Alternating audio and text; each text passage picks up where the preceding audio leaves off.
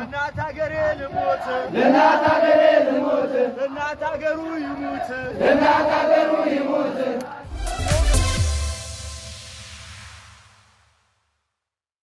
ሰላም ጤና ይስጥልን። የተከበራችሁ የሀናን አዲስ YouTube channel ተከታታዮቻችንም እነሆ ሰበር መረጃ ይዘን ተመልሰናል። እስከ ፍጻሜው አብራችሁን ቆዩ።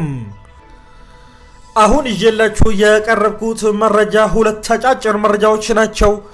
የመጀመሪያው መረጃ ጠቅላይ ሚኒስትር ዶክተር አብይ አህመድ ደጋፊዎቻቸው እየከዷቸው እንደሚገኝ ይታወቃል።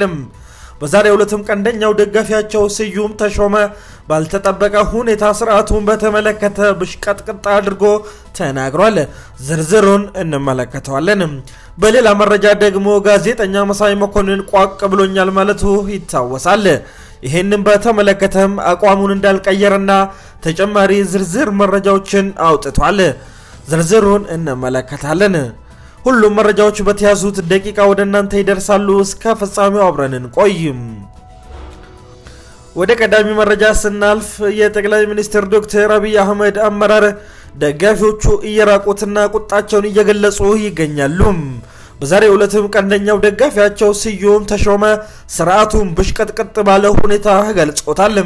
መነሻው ጋዜጠኛ ተመስገን ደሳለኝ፣ ሰለሞን ሹምዬና የመዓዛ መሐመድን የፍርድ ቤት ውሎን ይመለከታል። ፍርድ ቤቱ የግራ ቀኙን ካዳመጠ በኋላ ሶስቱም ጋዜጠኞች በዋስ እንዲለቀቁ ፈርዶላቸዋል። ነገር ግን ፖሊስ አለቃቸውን በማለት ተመልሶ ወደ እስር ቤት አስገብቷቸዋል። ይህንም በተመለከተ ታማኙ የመንግስት ደጋፊ ስዩም ተሾመ ዛሬ ብሽቅጥቅጡን አውጥቶ ተናግሯል። ጋዜጠኛ ተመስገን ደሳለኝ፣ መዓዛ ማህመድ፣ ሰለሞን ሹሙዬ የዋስ መብታቸው ተጠብቆ ፍርድ ቤቱ እንዲለቀቁ ብይን ቢሰጣቸውም አልተፈቱም፣ አልተለቀቁም። ይህንን በተመለከተ ስዩም እርር ድብን እንዳለ ገለጸ።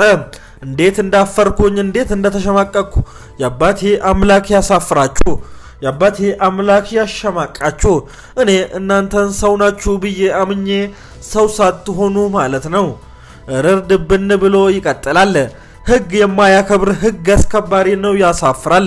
ወራዳዎች ናቸው። ይችን የፍርድ ቤት ውሳኔ በማን አለበኝ እብሪት ካልሆነ በስተቀር የፍርድ ቤት ውሳኔ ተቀብሎ እስረኞችን መልቀቅ ግዴታው እንደሆነ የማያውቅ ፖሊስ ሆኖ ነው ስዩም ይጠይቃል። አውቀው ነው እንጂ ብሎ ይከሳል።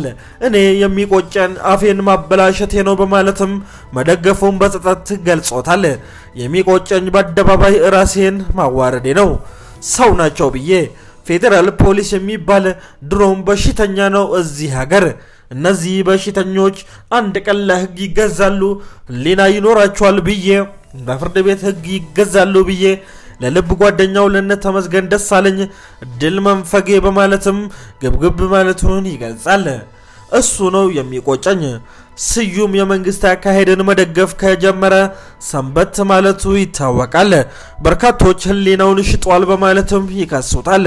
በመቀጠል ስዩም ተሾመ ማፈሪያዎች ማፈሪያ በማለት የተናገረ ሲሆን ስለ ተመስገን ደሳለኝ የሐሰት ክስ መሆኑን እንደዚህ ብሏል።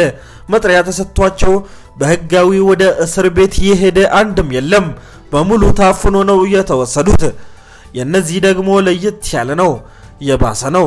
እንደ ወጠጤ ጎረምሳ፣ ወጠጤ ፍየል በማለት ብሽቅጥ አድርጎ ገልጾታል። ስርዓቱ ጥርጥር ያለ ጥጋብ የነፋቸው ናቸው። ህግ አስከባሪ የሆነ ህግ የማታከብር ከሆነ የለበስከው ዩኒፎርም ማዕረጉ በህግ አምላክ የሚለው በሙሉ አፈር እንደሚበላ እንኳ እንደማያውቁ ፍርጥ አድርጎ ስርዓቱን ራቁቱን አስቀርቶታል። በፌዴራል ፖሊስ ሽምቅቅ ነው ያልኩት ብለዋል። ሽምቅቅ ብዬ ነው ያፈርኩት። በአደባባይ የፌዴራል ፖሊስ እርቃኔን ነው ያስቀረኝ አዋረደኝ በማለትም ምሬቱን ገልጾታል። አፌ ሞልቼ ፖሊስ ትክክል ነው ስራውን ይስራ ማለቴ ፍርድ ቤቱና ስራቸው ነፃ ያውጣቸው ያልኳቸው ሰዎችን በፍርድ ቤት ዋስትና ሲሰጣቸው ዋስትና ነፈጓቸው። ያሳፍራል። ጥጋብ ነው። ወያኔ ጓዙን ጠቅልሎ ተመልሶ ገብተዋል በማለትም በምሬት ገልጾታል። ትላንት ፖሊስ የሰራው ወረዳ ስራ ስንት ዓመት ወደ ኋላ እንደመለሳችን እወቁ። ለውጥ አለ ብለን የምናወራ ሰዎችን አፋችንን ነው ያዘጋው። ለውጥ እንደሌለ ፍርጥ አድርጎ ተናግሯል። ቆሻሻ የማይመስሉ የማይሻሻሉ እንኩሩ እድሜ ልክ የማይሻሻሉ ገፈት የማይጠሩ ናቸው። እንደው ከምን ከምን ተሰባስበው መጥተው ነው እዚህ የገቡት እነዚህ ሰዎች በማለትም አውርዶ ፍጥፍጥ አድርጓቸዋል። ስዩም በመቀጠል እንዴት አንድ ጭንቅላት ያለው ፖሊስ ይጠፋል? እኛ ለፍርድ ቤት ካልተገዛን ሰው ፍርድ ቤት ይዘን መሄድ አንችልም የሚል ፖሊስ እንዴት ይጠፋል ብሎ ይጠይቃል። እኛ ለፍርድ ቤት ውሳኔ ካልተገዛን ሕግ ማክበር አንችልም የሚል ጭንቅላት ያለው ፖሊስ ጭንኳን ማሰብ የሚችል ፖሊስ እንዴት ይጠፋል? ወይስ እነዚህ ሰዎች አይደሉም? ፖሊስ፣ ወታደር፣ ባለስልጣን ምናምን የምትባሉ ምንም እንዳልሆናችሁ በተግባር አሳይታችሁናል በማለትም ትግሉን ጀምሮታል። መከላከያ፣ የፌዴራል ፖሊስ፣ አድማ ብተና፣ መኪና ምናምን ቢደረደር ምንም አታመጡም፣ ከህዝቡ አትበልጡም በማለትም ፍርጥ አድርጎ ስርዓቱን እርቃኑን አስቀርቶታል። እናንተን ጠራርጎ ማስወገድ ይቻላል። እድሜ ልክ ከማይበስሉ እንከፎች ጋር ስንት ዓመት መኖራችን ነው የሚቆጨኝ። ለህግ የማትገዛ ከሆነ ማንም ለአንተ አይገዛም፣ ማንም አይሰማህም፣ ማንም አይታዘዝህም፣ ማንንም ማዘዝ አይቻልም። እድሜ ልክ የማይበስሉ ኬት ኬት ተመርጦ ነው የመጡት በማለትም እዚሁ መዲናችን አዲስ አበባ አፍንጫቸው ስር ፍርጥረጥ አድርጎታል። ጠቅላይ ሚኒስትር አብይና ስርዓቱ ራቁቱን እየቀረ ነው የሚባለው ለዚሁ ነው። ወደሚቀጥለው መረጃ ስናልፍ ደግሞ ጋዜጠኛ መሳይ መኮንን ባለፈው ቋቅ ብሎኛል ማለቱ ይታወሳል። መሳይ ጠቅላይ ሚኒስትሩ በመዲናችን አዲስ አበባ በመስቀል አደባባይ የፌዴራል ፖሊስ ትርኢትን ካሳዩ በኋላ ኢትዮጵያ አትፈርስም የሚለውን ተደጋጋሚ ንግግር ማድረጋቸውን ተከትሎ እቺን አስቀምጦ ነበረም። ይሰለቻል። አንድ አይነት ነገር፣ ተመሳሳይ ንግግር፣ ትላንትም ዛሬም ምንም የሚታይ የተለወጠ ነገር በሌለበት ያንኑ ደጋግሞ ማድረግና መናገር አይምሮን ያዝላል። አዲስ ነገር ያለህ ብለን ጩኸታችንን እናቅልጠው እንጂ ዘንድሮስ የሚታየውና የሚሰማው ሁሉ ይሰለቻል። ቋቅ በማለት ምሬቱን ገልጾ ነበረ። ይህንን ንግግር ተከትሎ ጋዜጠኛ መሳይ መኮንን በርካታ አስተያየቶችን አስተናግዷል። ባለፈው ቅዳሜ በጻፍኩት አጭር መልእክት በርከት ያሉ አስተያየቶችን ተቀብያለሁ።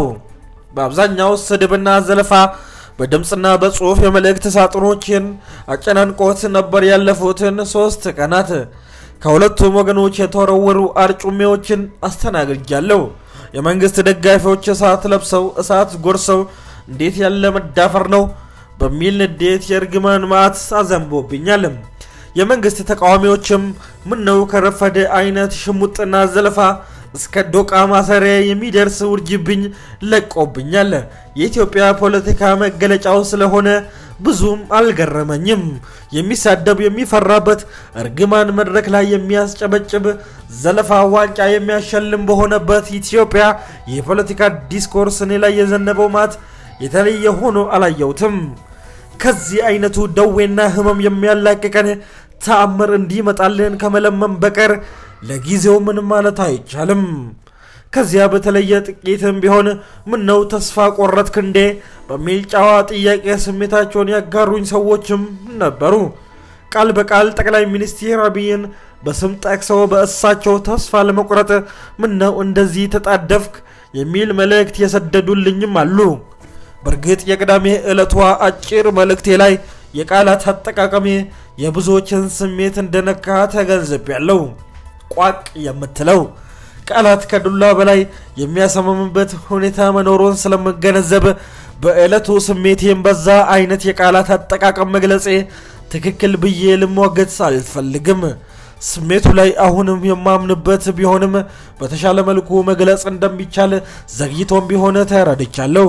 የመንግስት ደጋፊዎችን እንደዛ ሊያበሳጭ ይችላል ብዬ አልገመትኩም። በአንጻሩ በተቃዋሚ ጎራ ያሉ ወገኖችም ቃሉን ጠምዝዞ ለነሱ በሚመቻቸው መልኩ ያሰራጩታል የሚል ጥርጣሬ እንኳን አልነበረኝም። ያው ጫፍ ይዞ መሮጥ፣ ሳይመረምሩ መፍረድ፣ ሳያላምጡ መዋጥ ስር የሰደደ የፖለቲካ ባህሪያችን በመሆኑ ከተፈለገው መልእክት ይልቅ ተቃራኒው ገዢ ሆኖ ለእኔም እርግማን ተርፎኛል። ለማንኛውም ቅዳሜ ዕለት የተሰማኝ ስሜት አሁንም አምንበታለሁ። አንድ አይነት ነገር ለዓመታት በተደጋጋሚ መስማት በእርግጥም ሰልችቶኛል። ማርም ሲበዛ ይመራል እንዲሉ የምወደው መልእክት እንኳን ቢሆን ተደጋግሞ ስሰማው የቢምቢ ድምፅ አይነት ጆሮን የመሰቀጥ መሆኑ የማይቀር ነው። ኢትዮጵያ በለውጥ ዘመን ላይ እንዳለች ይገባኛል። ሁሉም ነገር በአንድ ጀንበር ይለወጣል የሚል ከንቱ ምኞት ውስጥ የለም። የከረምንበት የህወሓት አገዛዝ የከረምንበትን ቆሻሻ ለማራገፍ ጊዜ እንደሚወስድ ጠፍቶኝ አያውቅም። የጠቅላይ ሚኒስትር አብይ መንግስት ይዞ የመጣቸው ተስፋዎችና በተግባር የታዩ ውጤቶችን ለደፈጥታቸው የሚያስችል ፍላጎቱም ሆነ ወኔው የለኝም። ለዚህም ነው በግልም ሆነ በቡድን የለውጡን ሂደት ሳበረታታና ስደግፈው የቆየሁት። የኢትዮጵያን ታላቅነት የሚሰብክ መሪ ቤተ መንግስት ሲገባልን መቼም ኢትዮጵያን ለምንወድ ልጆች በቃል ደረጃ ቢሆን እንኳ የሰጠን መንፈሳዊ እርካታ አሁን ድረስ ከውስጤ የሚጠፋ አልሆነም። ለብዙዎቻችን ያ ወቅት ልዩ ትዝታ በልባችን ጓዳ ታትሞ እንዲቀርጽ ስለማድረጉ እርግጠኛ ሆኖ መናገር ይቻላል። ችግሮቹ እንኳን ቢኖሩ በሂደት ይቀረፋሉ በሚል ተስፋ አብዛኛው ኢትዮጵያዊ ለውጡን በልዩ ደስታ እያጣጣመው እንደነበረ የቅርብ ጊዜ ትውስታችን ነው። ነገር ግን መልካም የተባሉ ውጤቶችን ለምን እንደ ጅማራቸው መቀጠል አቃታቸው? ዘረኝነቱን አደብ ማስገዛት ባንችል እንኳ ባለበት እንዲቆም ያልተደረገው በምን ምክንያት ነው? ከጽንፈኞች ባልተናነሰ በገዢው ፓርቲ ውስጥ የሰፈነው የብሔርተኝነት ስሜት ወዴት እያመራን ነው? አዲስ አበባን ዳርዳር እያላት ነዋሪዎቿን ስጋት ውስጥ እየከተተ የሚገኘው የተረኝነትን እንቅስቃሴ ለምን ትኩረት ተነፈገው? ህዝብ ከሚመራው መንግስት መስማት ያለበትን መረጃ እያጣ የተጋለጠበት አደገኛ አዝማሚያ አያሳስብም ወይ? ዘረፋና ሌብነቱ ላይ ሳይፋቸውን ያመሳሉ ብለን ተስፋ ያደረግንባቸው ጠቅላይ ሚኒስትር አብይ አህመድ አገሪቷ በቁሟ እየተጋጠች መሆኗን እያወቁ መታደግ ያቃታቸው በምን ምክንያት ነው? ህወሓት በተደጋጋሚ አፈር ልሶ የሚነሳበትና ጦርነት እየከፈተ ሰላምና ደህንነታችንን የሚያሳጣውን ለምንድን ነው? ከህወሓት ቀና ማለት ጋር በተያያዘ የምንሰማቸውና አንዳንዶቹን በማስረጃ ጭምር ማስደገፍ የምንችላቸው የገዢው ፓርቲ ክፍተቶች ላይ በግልጽ ተወያይቶ የእርምት እርምጃ መውሰድ ያልተቻለው ለምንድን ነው? ብዙ ጥያቄዎች ውስጤን ይንጡታል። በግሌ ያገኘኋቸው ከመንግስት አመራሮች ጋር በነበረኝ ቀርቤታ መሬት ወርጄ ያየዋቸው ውስጤን የሚረብሹ ነገን በስጋት እንድመለከት የሚገፋፉ ነገሮችም ተሸክሜ በዝምታ መዝለቁ ህሊናዬን የሚቆረቁር ሆኖብኛል። እናም እጠይቃለሁ፣ ተስፋ መቁረጥ አይደለም። አሁንም ቢሆን በጠቅላይ ሚኒስትር አብይ አህመድ ተስፋ አድርጋለሁ። በሳቸው ተስፋ አልቆርጥም። ግን እየጠየቅኩ የእርምት እርምጃዎች እንዲወሰዱ ባለኝ ተጽዕኖ የማድረግ አቅም ነገሮችን ወደ ሀዲዱ እንዲመለሱ እንጂ ከዚህ ያለፈ የአቋም ለውጥ ኖሮኝ አይደለም። አሁንም ይችላሉ። ጠቅላይ ሚኒስትሩ የተበላሸውን ማስተካከል እንደሚችሉ አምናለሁ። መንግስት የሚያደርገውን ያውቃል እያሉ እንደሚያላዝኑት ጭፍን ደጋፊዎችም ድንዛዜ ውስጥ መኖር አልፈልግም። መንግስትም የሰዎች ስብስብ ነውና ያጠፋል፣ ያበላሻል። ሲያጠፋም ሲያበላሽም በተደጋጋሚ አይተናል። ለምጣዱ ሲባል አይጧ ትለፍ በሚለው አቋም ውስጥ መኖርን ያየናቸው ጥፋቶችና ብልሽቶች በመንግስትም ጭምር የተፈጸሙ መሆናቸውን መካድ አይገባም። እናም እጠይቃለሁ፣ ለምን ዘረኝነት ይበልጥ ገነነ? ጽንፈኛ መዋቅሮች በመንግስት መዋቅር ውስጥ ገብቶ ሲፈተፍቱ የመንግስት ዝምታ የድጋፍ ወይስ ደፍጦ ጠብቆ ሊደፍቃቸው? የተሳፈርንበት ባቡር ከዋህዲት እንደሚያደርሰን ዛሬስ ማወቅ የለብንም? መሳይ ይጠይቃል። ሁሉ ነገር ባይነገረን ሁሉ ነገር ለምን ይደበቀናል? ሌላም ሌላም ሌላም መጠየቅ ሀገር አያፈርስም፣ ተጠያቂነት እንዲሰፍን ያግዛል እንጂ በተረፈ ፖለቲካ እምነት አይደለም። በነገሮች ላይ ተመስርቶ ሁኔታዎችን እያሰላሰሉ አቋም የሚያዝበት እንጂ ዶግማና ቀኗ ኖሮት የሚቸነከሩበት የሃይማኖት ተቋም አይደለም። ፖለቲካ ከግለሰብ አምልኮ ጋር፣ ፈጽሞ አይገናኝም። ሰው ላይ የሙጥኝ በማለት የሚከተሉት መስመር ሊሆን አይገባም። አይደለምም። ትናንት የነበረው ዛሬ ላይ ጥምህና ለተለወጠው ትችላለን። ይሄ ሲባል አቋም ከማጣት ጽናት ካለመኖር ወይም ወላዋይ ከመሆን ጋር የሚያያዝ ሊሆን አይገባውም። የፖለቲካ መሰረቱ ሀሳብ ነው። እውነትና የምናየው ክስተት ላይ ያለን መረዳት ነው። እይታችን እንደ እውቀትና ልምዳችን ሊለያይ ይችላል። ከዛ ባለፈ የእምነት ጉዳይ አድርገውት አንዴ አምኛለሁ በዛው ቆርቤ እቀራለሁ ማለት ስለ ፖለቲካ ሀሁ ካለመረዳት የሚመጣ የአስተሳሰብ ስንኩንነት ነው። ጋዜጠኛ መሳይ መኮንንም ኢትዮጵያ በክብር ለዘላለም ትኖርልን። የተከበራችሁ ያንን አዲስ YouTube channel ተከታታዮቻችን በሌላ መረጃ እስከምንገናኝ ቸር ሰንብቱ።